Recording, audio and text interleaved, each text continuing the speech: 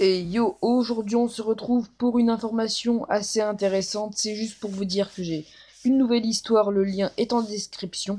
Je vais vous en parler. Alors en fait c'est une histoire Wattpad. Euh, c'est l'histoire d'un jeune Minecraftien qui décide de faire une aventure bah, sur Minecraft, c'est logique.